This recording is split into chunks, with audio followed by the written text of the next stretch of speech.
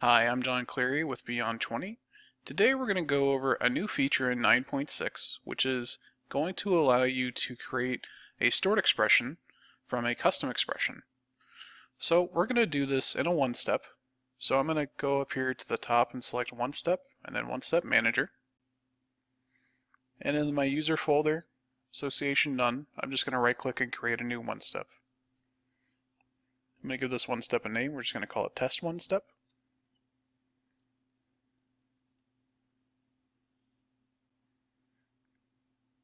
And then we're going to go down here and then add update variables and stored values. And you'll notice that this screen looks a bit different. I'm sure that'll be covered in another video. But we're going to go ahead and name our variable.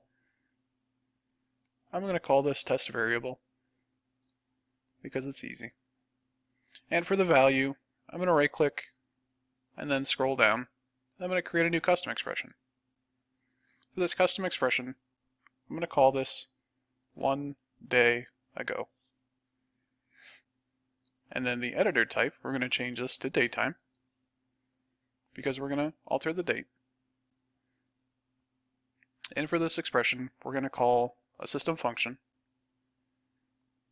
which is the current datetime. And we want negative 1 days. So current date time minus 1 day.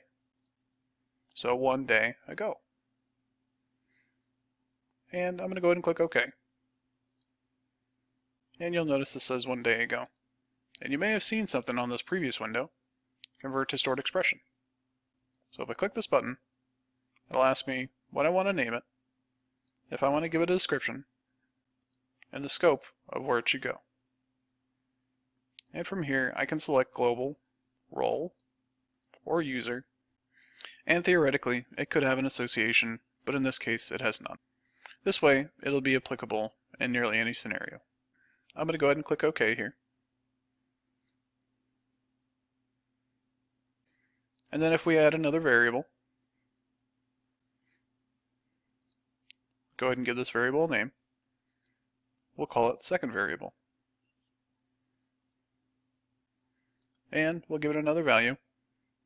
We'll browse for our new expression. And here it is. Association none, global folder, called one day ago. And if you examine the properties, you can see it's the same expression. This should make things much easier when creating commonly used custom expressions that can be referenced in multiple places as you configure your Cherwell system. If you have any questions, please feel free to leave a comment below, and please also feel free to check out our other videos. Thanks very much for watching. Have a good day.